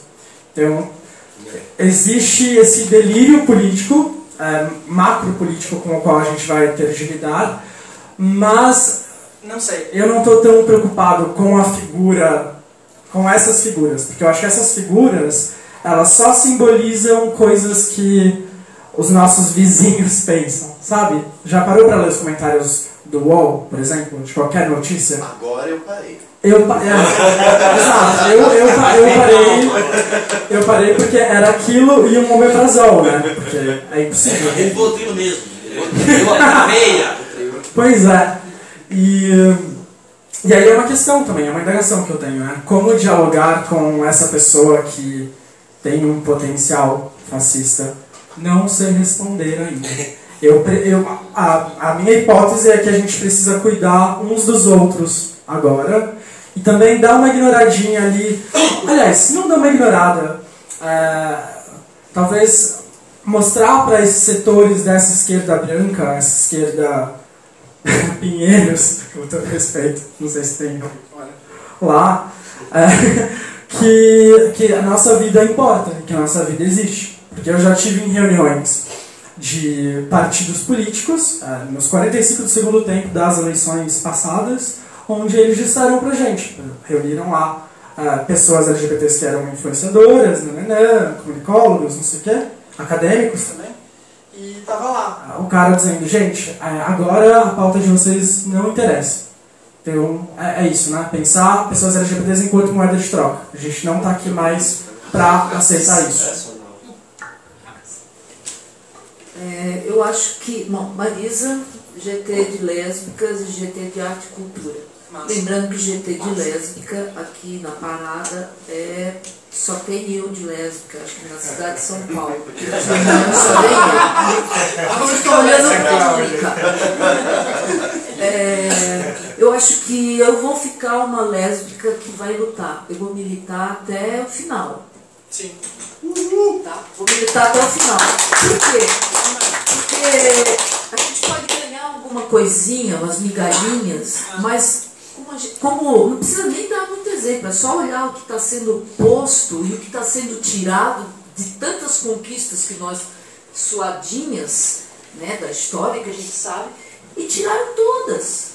Então, como é que a gente tem que estar tá enfrentando isso? É ir para a rua. Então, eu sou pela, pela festa da parada, mas eu acho que tem que ser uma festa em luta. Sim. Entendeu? Tem que ter a festa, porque, pô, é difícil a gente lutar. Então, tem que ter a festa, mas eu acho que tem que ter a festa em luta. E não, e não desistir, e não, não se deixar levar pelo, pelo pink money, sabe? Eu acho que, acho que é a luta. A luta é nossa. Senão a gente vai estar usando, sei lá, se continuar assim, no meu velório, o pessoal, a mulherada vai estar de burca. Acho é, difícil. É por aí? Depois vocês. Não, vocês têm resposta para. Não, ninguém. Acho que já tem você. Mais umas três aí, você não. Senão vai ficar muito. É. Ok. Oi, meu nome é Luísa. Olá, Luísa. Luísa. É. Obrigada. Então, é só uma, um comentário sobre uma coisa que foi dita antes. É, você comentou. Eu esqueci o seu nome. Deu. Meu, tá bom. É, você comentou sobre a questão de pautas mais sérias não terem compartilhamento, porque as pessoas não acharem que isso é. que ninguém vai ler. Mas você não acha que isso é retroalimentado? Sim. Tipo assim, as pessoas não compartilham porque ninguém vai compartilhar, e aí ninguém compartilha gera ninguém esse compartilhar. É. que todo mundo achando isso nunca vai compartilhar. E aí a gente mesmo acaba não postando porque não vai ter tanto like, sei lá. E tem, e tem um pouco ó, também a questão de você, quando você compartilha algo que é potencialmente viralizante, você, nessa era que nós estamos de querer ser influencer, né, porque influencer hoje é uma profissão, é, você, ah, vou compartilhar aquilo que vai me trazer também visibilidade. Né? Uhum, As é. pessoas vão ver que eu compartilhei e vão curtir o meu post, e o meu post vai bombar e tal. E quando você compartilha algo mais sério, assim, que não é tão viralizante, você compartilhou e só, né? E, então tem isso também, é uma questão também individualista de você querer aparecer, né? De querer ser a estrela ali da coisa, enquanto na verdade o que tem que ser a estrela é, é o conteúdo, né? Que você está compartilhando. Mas aí o meu comentário é, a partir do momento que você já é alguém que tem alcance, já é, de certa forma, influencer, será que não é sua responsabilidade? Assim, não digo que você seja obrigado, mas será que não é sua responsabilidade postar esse tipo de conteúdo, já que você tem alcance? Sabe? Assim, moral, não sei. tipo, eu- não tô dizendo que, que você tem que, mas. Ah, uma pra pessoa você, aí. sabe?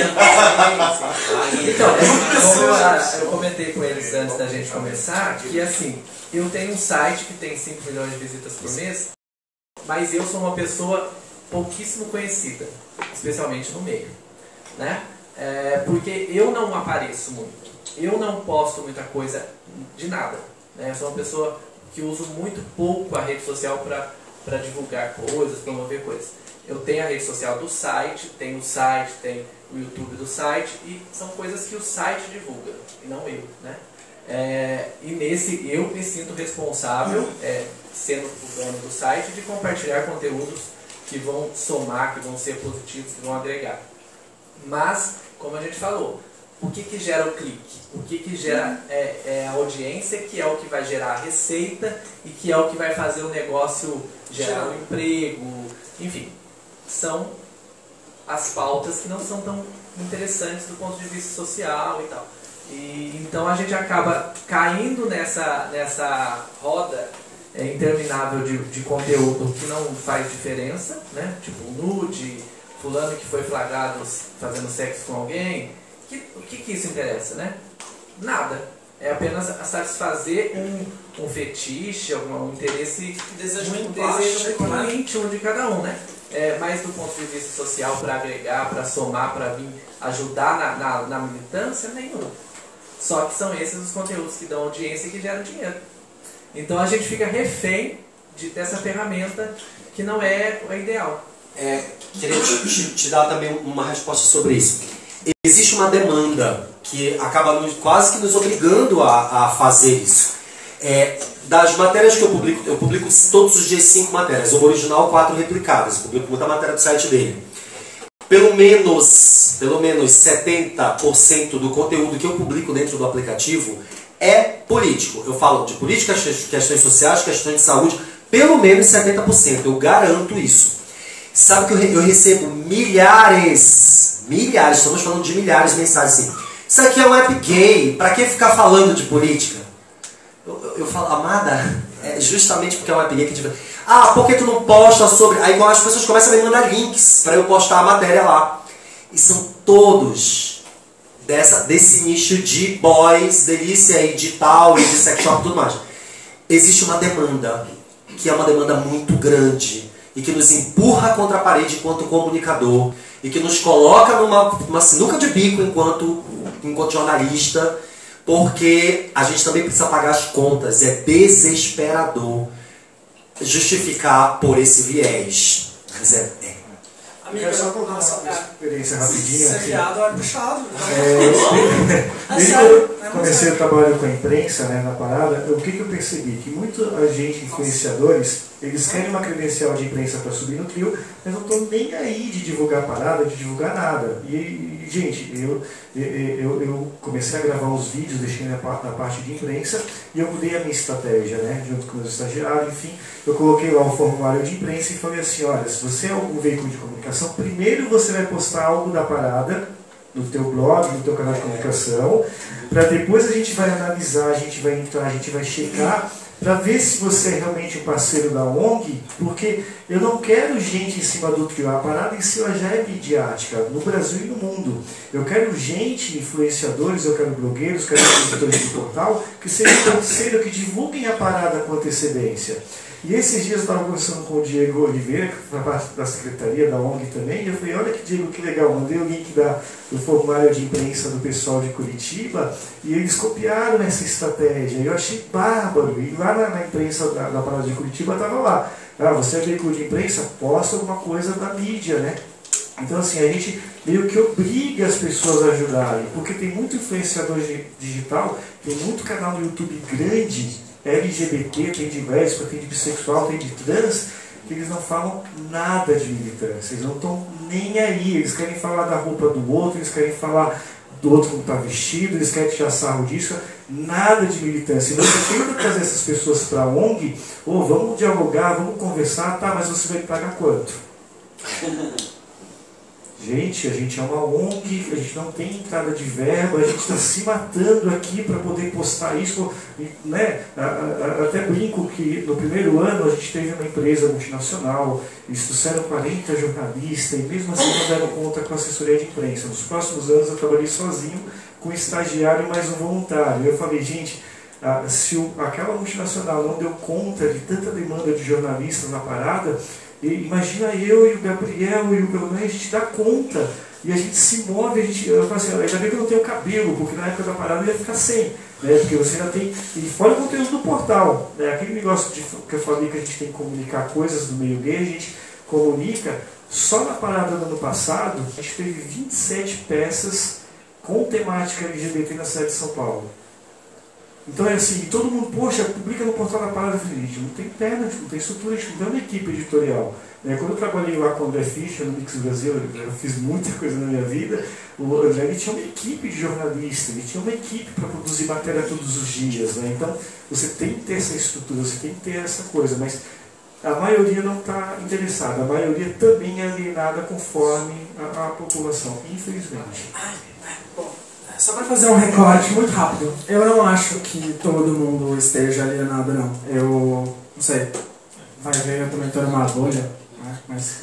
É, ah, vai que. Uh, eu acho que existe. Eu tenho um incômodo muito grande com isso. Uh, o, o, o meio gay, principalmente homens gays mesmo, o recorte é muito específico.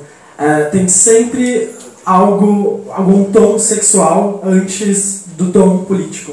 Então talvez uma demanda que a gente tenha de ter por agora seja essa de normalizar o, o afeto entre homens para que ele não tenha cunho sexual, sabe? Uhum. E, e eu tenho a impressão de que o movimento negro está muito mais que organizado, está uma coisa incrível e linda de se ver a Angela Davis estava com 15 mil pessoas no Parque do Ibirapuera, né?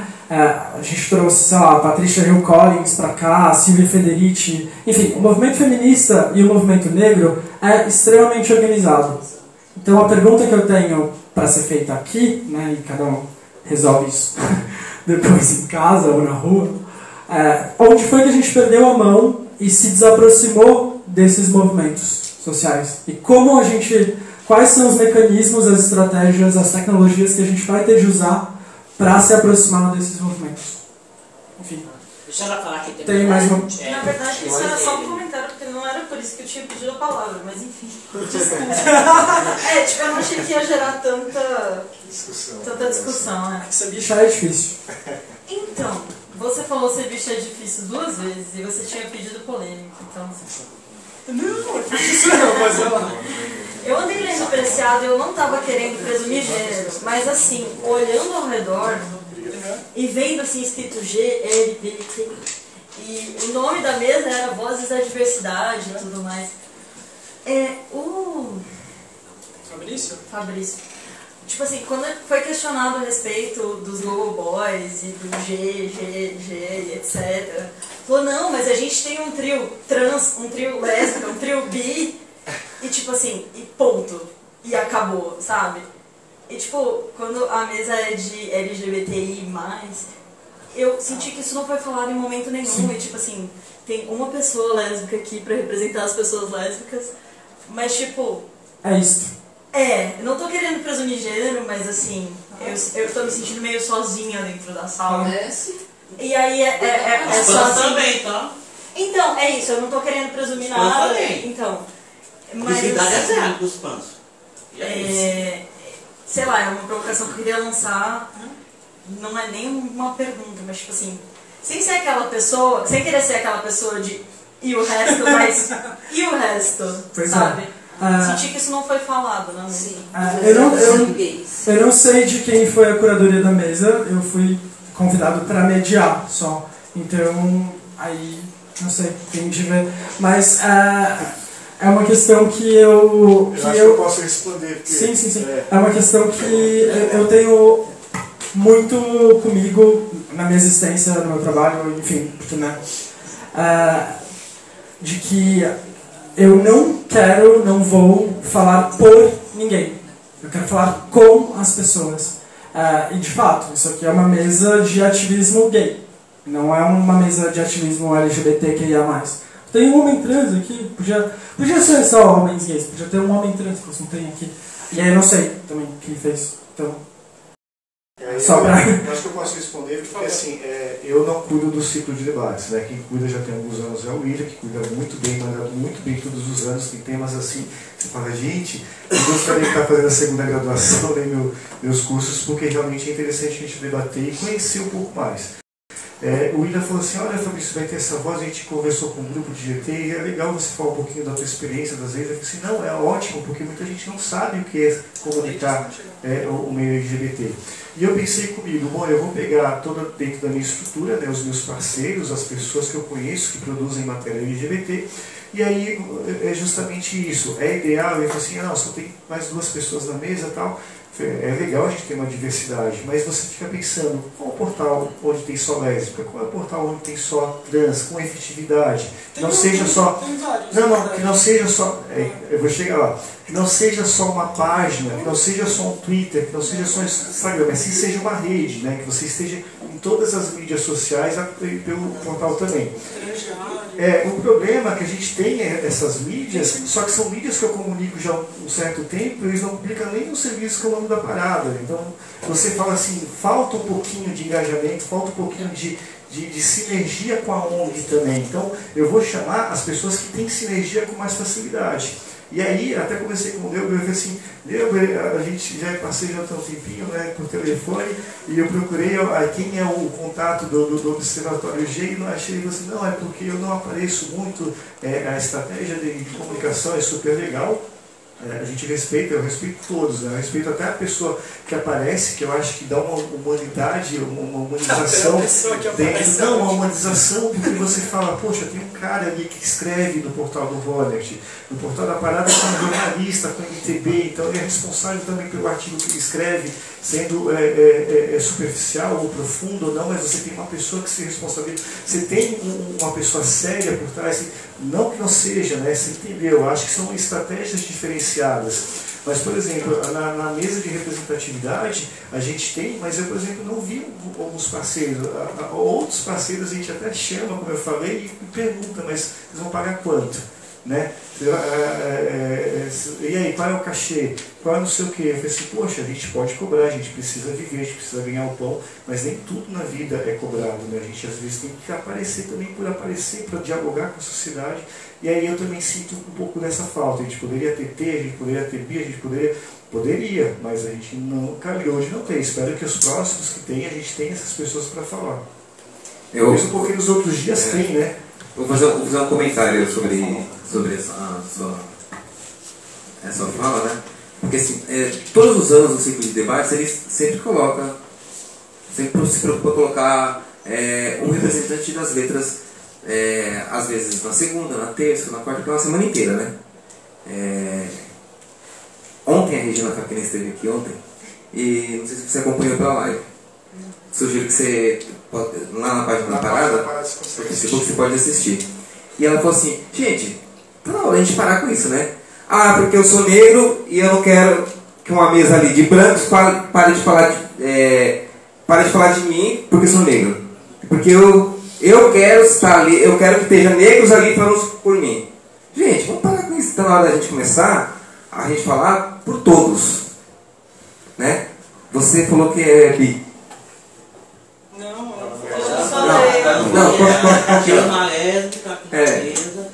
É o Eric que falou assim, que não estou sozinha, qualquer. Não, ela colocou as letras. Ela É. falou ela É, então. Aí então a gente tem que começar a questionar assim, é, onde está a minha participação também dentro desses locais que fomenta e que constrói esse tipo de atividades. Dá, eu sugiro que você dá uma olhadinha lá no que a Facchini comentou, porque acho que está na hora da gente começar a, a. Eu não preciso ser gordo para poder é, abraçar a causa do gordo. Eu não preciso ser gay para poder abraçar a causa do gay. Vamos, a gente tem que começar a abrir a mente e começar a tirar os rótulos e começar a falar por todos e começar a ver o que é senso crítico, o que é, o, o que é, o que é assim, a pessoa a pessoa está falando algo que está saindo do comum, opa, vamos ter uma Não, sensibilidade aí eu e começar a defender por Ah, todos, Eu não né? quero falar por ninguém, com as pessoas. Nossa, sim, mas por, pelas pessoas não. Nunca. Você não precisa falar pelas pessoas, mas você- pode falar, falar pelo geral, pelo bem comum de todos. É isso que eu estou falando. Bom, é, tem... Posso responder? Eu queria Peraí, peraí, peraí, peraí, não, gente, ó, vamos lá. Não, beleza, Só não, pessoa deixa só ali- ele falar, depois você fala na mesa, depois Mas ele lá no fundo tá É, tá o- Aquele Só jovem pra- lá de camisa verde no fundo. Não, é, não, pode deixar. Porque vai de três em três, vai, você depois vai mesa. Calma lá. Vai, lá. Calma que dá tempo para todo mundo. né? Ele passou a desenho. Deixa eu só responder. Deixa eu Só um segundo, só um Posso segundo. só responder? Lá. régua. Rapidinho. Vai lá, vai lá. Ah, o meu questionamento não é sobre o lugar de fala, o que me parece que foi que você estava falando Eu sobre o lugar de fala. É, o meu questionamento não é esse, não é se as pessoas que estão na mesa podem falar sobre as outras letras. O meu questionamento é pessoas que estão além dessas quatro letras. E mais do que isso, pouco foi falado até sobre as pessoas que estão nas letras. Então, assim, o meu questionamento não é apenas sobre a constituição da mesa. Eu não vou questionar aqui lugar de fala porque eu sei que é um debate muito grande. Mas é assim, sobre o conteúdo do que foi dito e sobre todas as outras pessoas que fazem parte do grupo que a parada deveria representar. Sim. Só isso. Ah, é isso. É isso. Agora vai? Então, gente, meu nome é Pira, é Pirajara, né? Eu sou um militante independente e tal.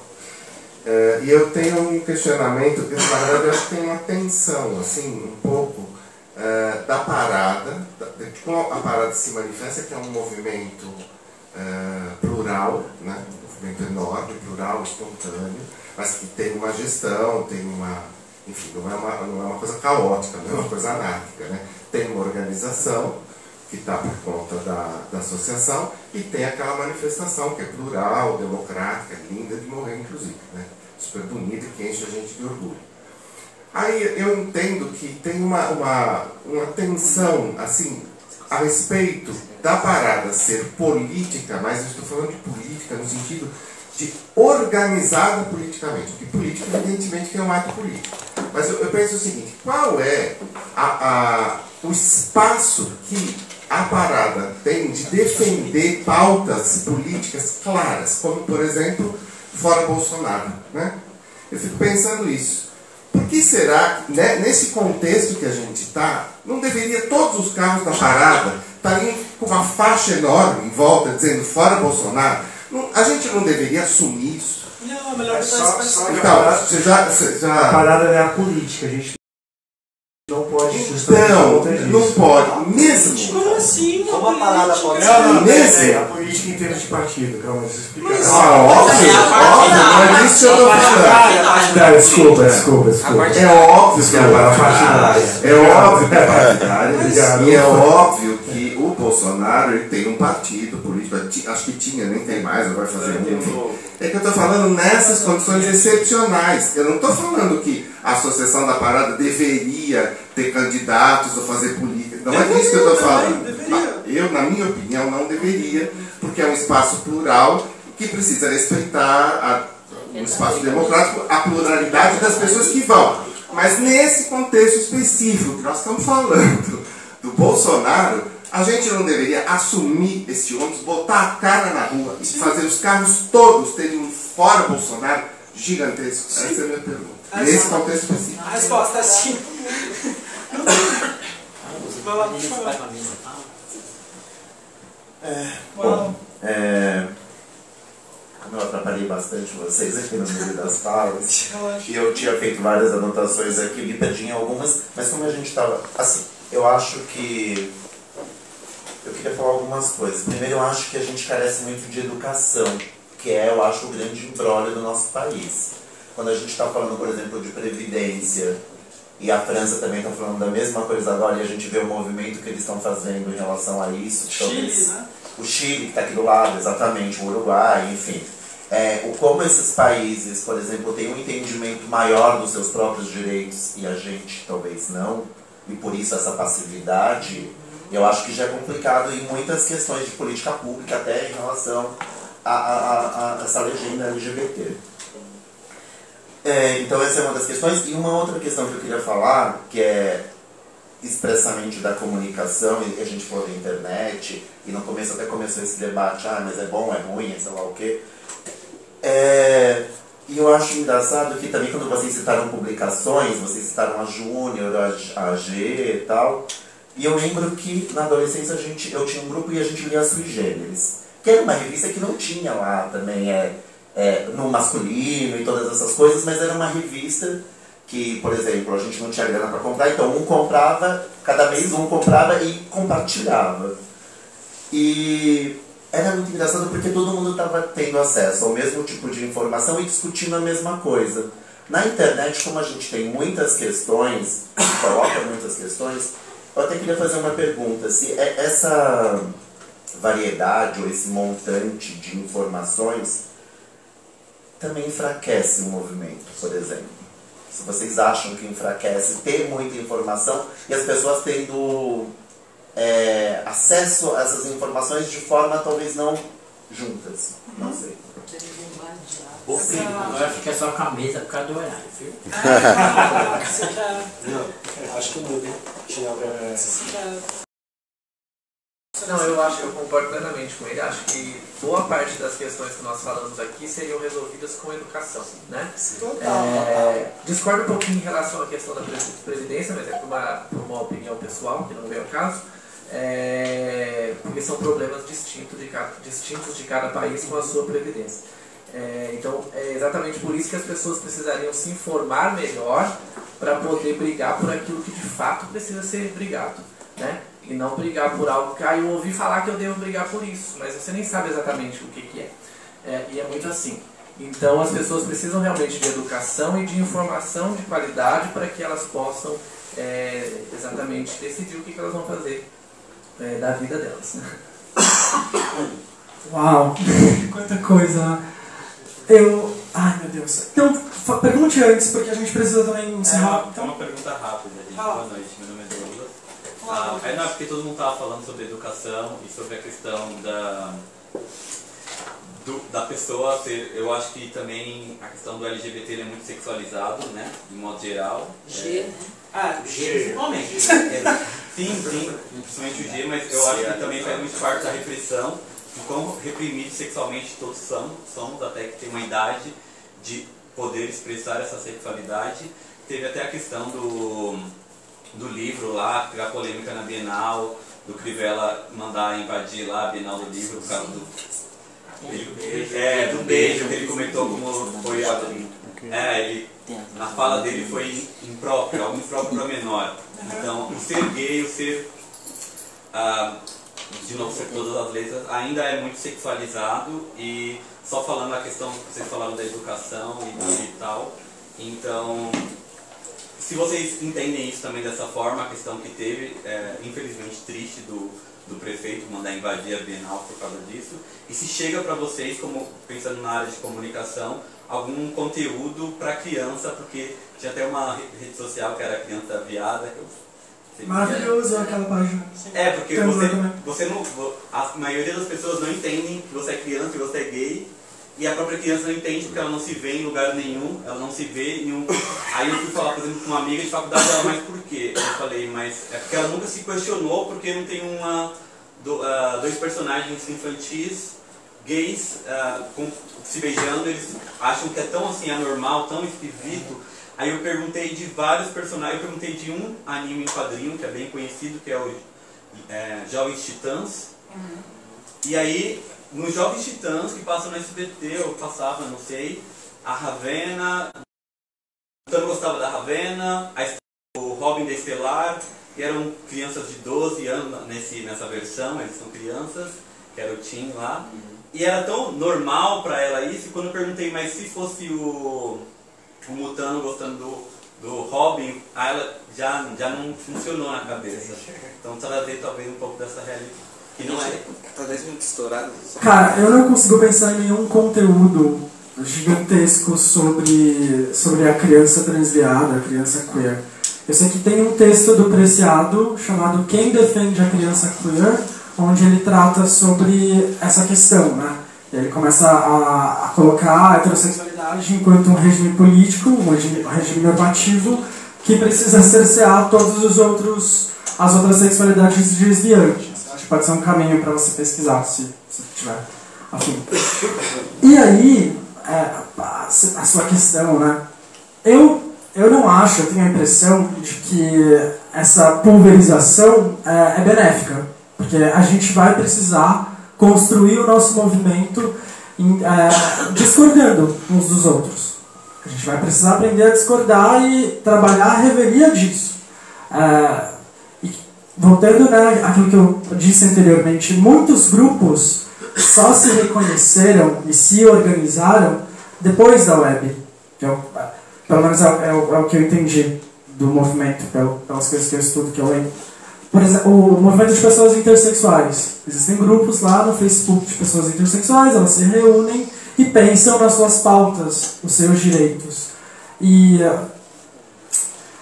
é muito complicado né, falar desse lugar de universal. Eu acho que o universal fez muito mal para a nossa história. É, pensar, por exemplo, no, no, no você falou da previdência. Você conhece alguma uma pessoa trans que tenha se aposentado? Não. Então não é uma pauta universal. Logo, a gente vai precisar discutir todas essas demandas e criar uma revolução ah, somato política mesmo. Vamos sabe? fazer que isso converja, é, que todas as informações convirjam para o mesmo ponto. Eu acho que isso talvez fosse interessante. É. É, com- enfim.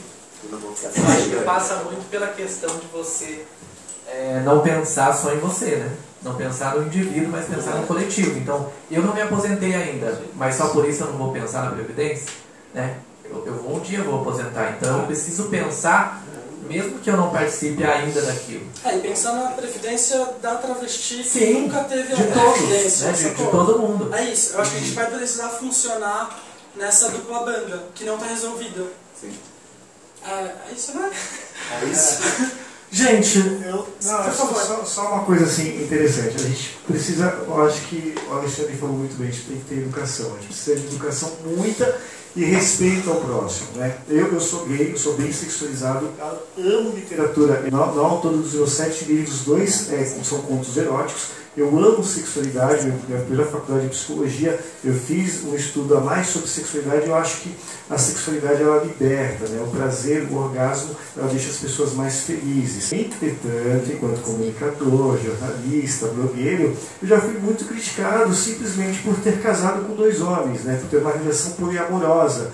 Fabrício, é, é inadmissível que você tenha toda essa visibilidade e você fale sobre relacionamento aberto se você fale sobre é, é, poliamor, eu falei, gente, olha o desrespeito do outro, né? essa é a minha vivência. Eu falo disso porque eu vivo isso. Só que como eu vivo isso, eu sempre digo, eu falei assim, isso não é, é, é ideal, isso, desculpa, não é ideal. Isso é, é realidade de muita gente, serve para muita gente, mas não serve para todo mundo. Não é porque eu tenho uma relação aberta que eu vou dar em cima do meu casa, do, dos meus amigos que são casais gays, que têm uma relação fechada, eu vou dar em cima do fulano, do ciclano à torta à direita. Né? Não é por conta disso. Então, é, resumindo, eu acho que a comunidade LGBT, fazendo um fechamento com a comunicação, é, é, para essa comunidade também, a gente precisa dois pontos fundamentais. Educação. A gente precisa educar essas pessoas, falar sobre sexualidade, falar sobre respeito, falar sobre a não sexualização também, que existem muitas pessoas que o sexo também não é tão importante quanto,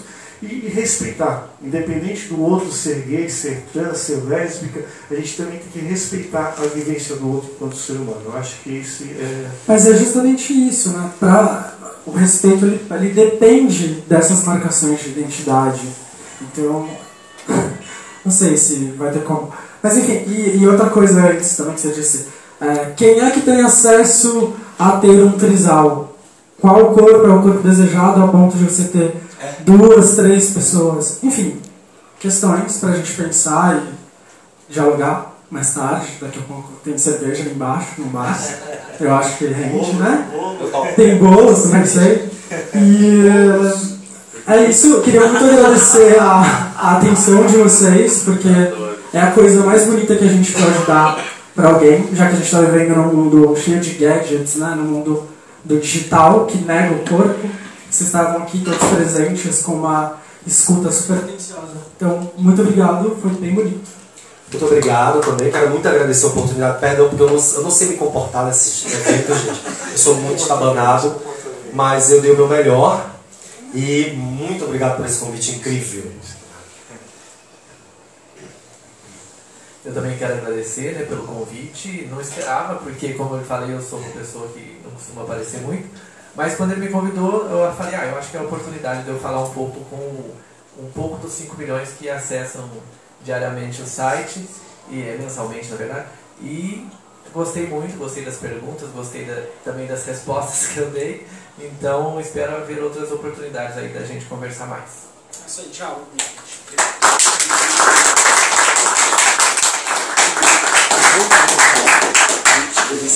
Vamos ao bolo.